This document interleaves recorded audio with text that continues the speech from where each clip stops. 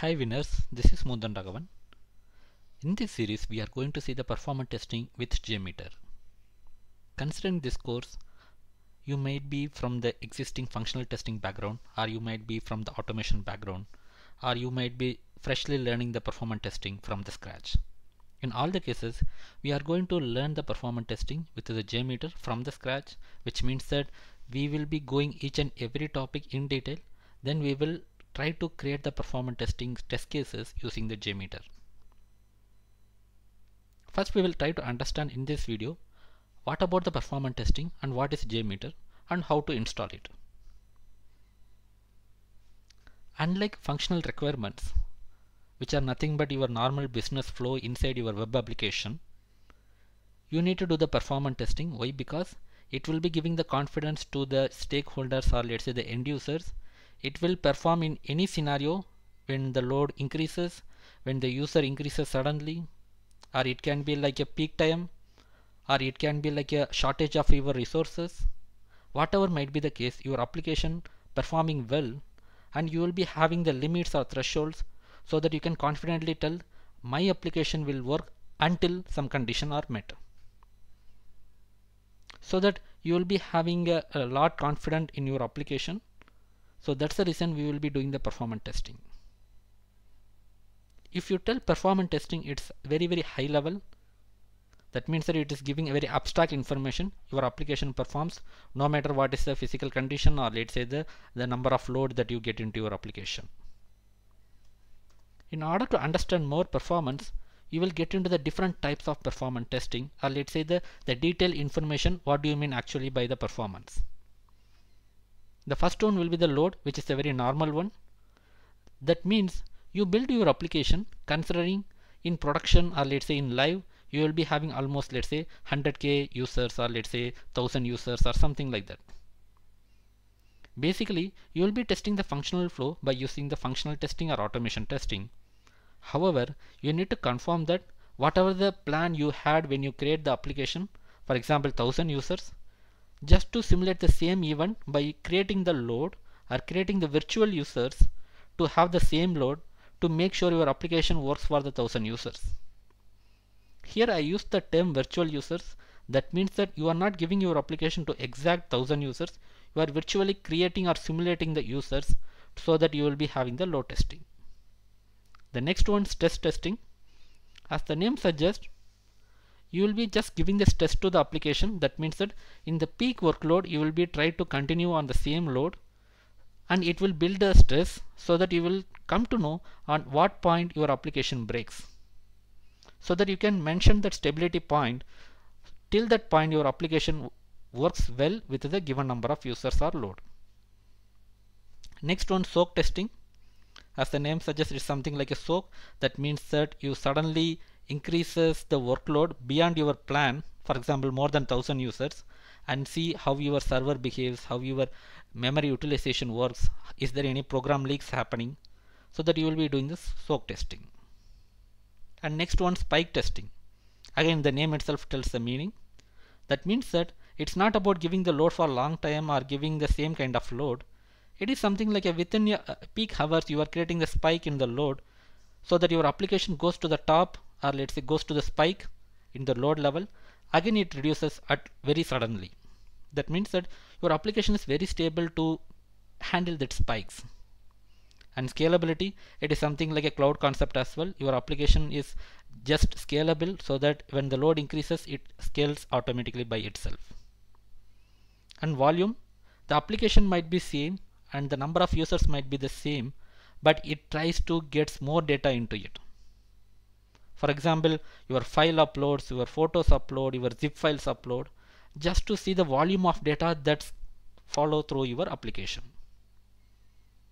These are the very high level again because even inside the load testing you will be having the different concept. For example how long you continue the load how many users how they just build up the load and what is the think time. There are a lot of terminologies we will be coming to know in this series. In general now we are trying to understand performance is the very abstract level if you get into the next level it will be the load stress soak spike scalability volume and so on and all these things can be discussed in our series and some of the area we actually do the hands-on Now coming to the next part of this video which is the JMeter. There are a lot of other tools. I will just keep uh, let's say keep the idea to you. You can explore a lot of things but we choose the JMeter in this series. Why? Because the first reason it's a open source and second reason it's a Java so that you can use in any environment and any OS. It's a cross functional or let's say cross OS uh, platform. And after that it has the UI which means that you can record and playback and the last and very powerful reason it is in the field for long time and you have so much community and the documentation and let's say a lot of support from the team. So that if you have any issues definitely you can assure that you will not be the first person facing that issue so with that knowledge we'll go to the JMeter JMeter as you know it is a Apache framework or let's say Apache tool and some points to be clarified here before we start with JMeter installation. JMeter first of all it's not a desktop application. JMeter is not something the cloud application. JMeter is just kind of tools and it is the Java jar files or let's say Java application that is wrapped into your let's say some zip file. If you execute it gives the UI it does not mean that it is the desktop application. So in order to understand JMeter further, we will install and try to see more things in the coming videos. But as part of this video, we will try to install. When you try to install the JMeter, what are the things are required before you start the JMeter? Obviously, when in order to install the JMeter, you need to have the JMeter download, which is a zip file that we discussed. And JMeter, as you know that it is built over the Java, obviously you need to have the Java as well. Even though you have the Java, when you run the JMeter so it will always try to see the system variable called java home and in that path whatever the value you have given java home in that folder path it will try to find the java jdk or binary files. And firefox browser however we will see it's only the firefox or chrome browser can be used but generally jmeter will be used along with the firefox browser so that you can use the record and playback when you do the jmeter test case creation. And apart from that if you are from the functional or automation just unlearn everything and come out of that area. It is totally different and you will be doing lot of things in a different way unlike our functional testing and automation testing. So with that we will try to install the JMeter first. I will be sharing all these links so that you can download by yourself. Let's go to here. And here you can see Apache JMeter requires 8 plus. That means that any Java version more than 8 and this will be the link where you can download any version more than 8 even I would prefer to have Java 8 or 9 probably you can download anything which is more than 8 so just to confirm let's go to the system variables first because I already installed that.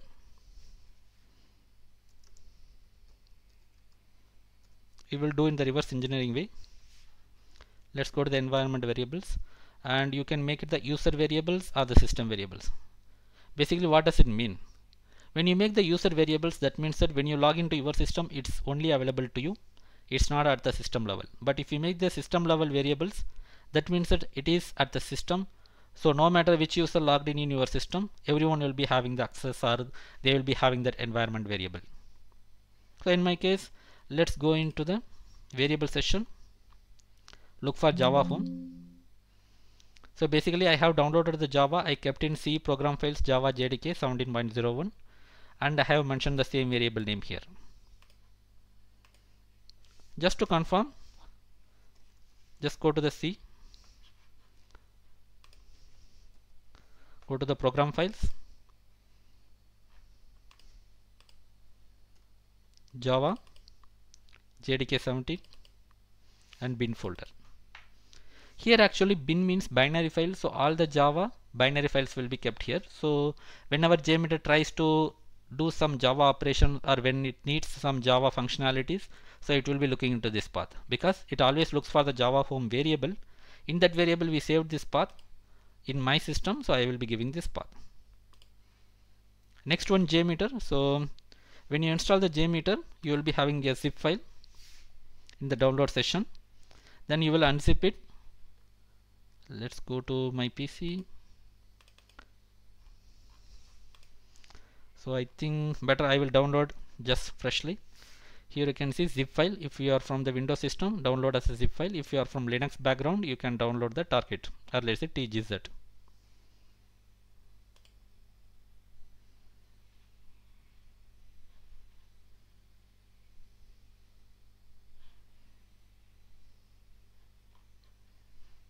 then what are the other things? So java home we have set up and java jdk it's already there. Just to confirm the java home is working fine or not go to the command terminal type java underscore home. It's not recognized because we have typed the variable directly. Okay fine. Let's type java hyphen version. And here you can see the java details so that has been installed already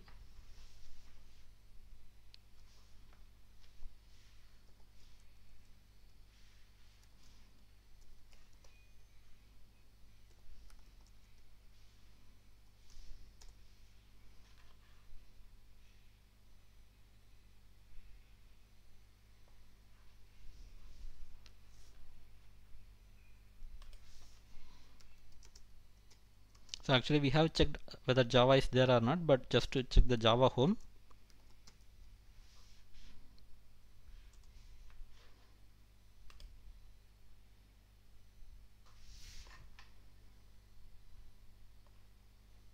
Yes we should be using the echo command.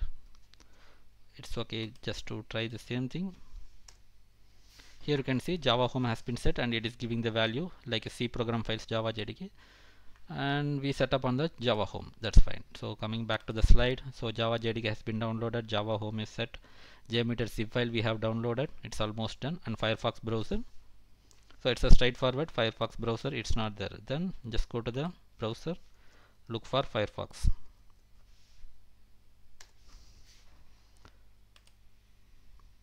Download firefox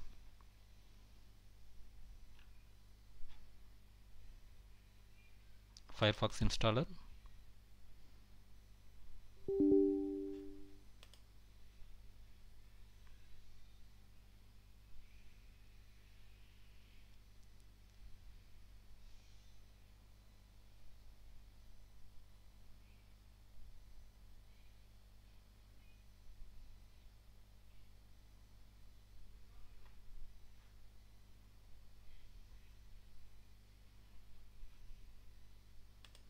yes now we have the Firefox browser now. Okay that looks cool. Close it. Now coming to the Apache JMeter just go to the downloads.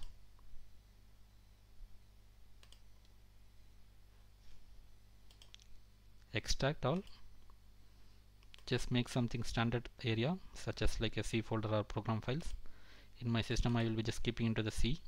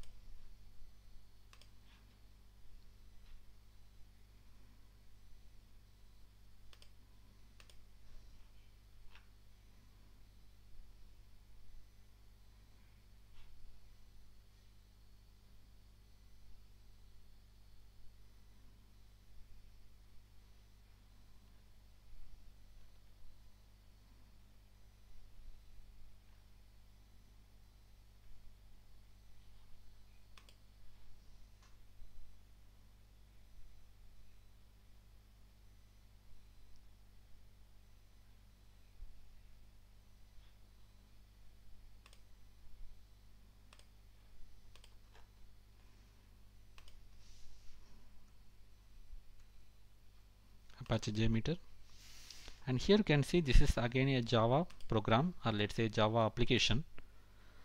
And if you go into that you will be seeing all the like Java folders. You will be just going to the binary folder and you will be seeing the let's say different files here. So let me open the JMeter bat which is the batch file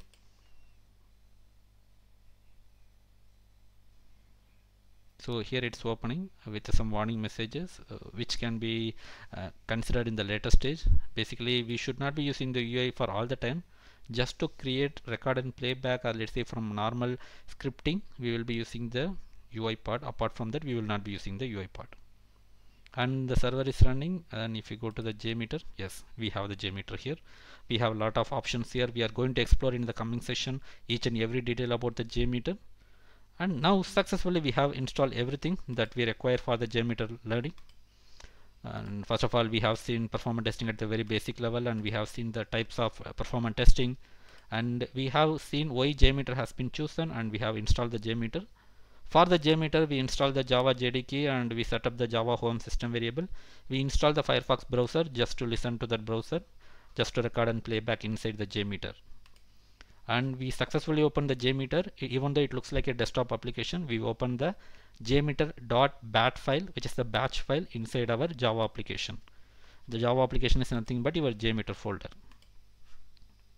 So this is all about this video. So thanks all, thanks for watching and have a great day.